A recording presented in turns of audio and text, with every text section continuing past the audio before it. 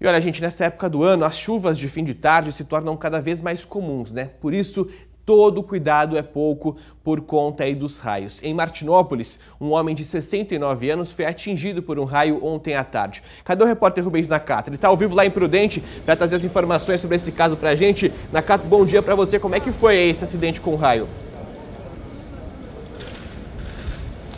Casa Grande, bom dia a você, bom dia a todos. Olha, o idoso estava na horta e quando foi atingido pelo raio, ele estava trabalhando, fazendo uma vala com uma enxada nas mãos, o que acreditam aí ter ajudado a conduzir também essa questão do raio, né? Depois que ele recebeu essa descarga elétrica, ele acabou caindo e quem viu tudo isso foi a filha dele que chamou aí o socorro, o corpo de bombeiros e fez ali os primeiros socorros. Ele foi primeiramente encaminhado a Santa Casa de Matinópolis e depois trazido para o Hospital Regional aqui em Presidente Prudente.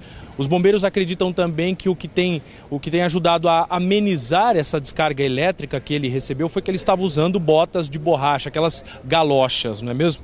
Bom, a, o, o HR informou para a gente que ele permanece internado em observação mas que tem todos os cuidados aí, porque afinal de contas ele foi atingido por um raio, né? Casa Grande, volto com você.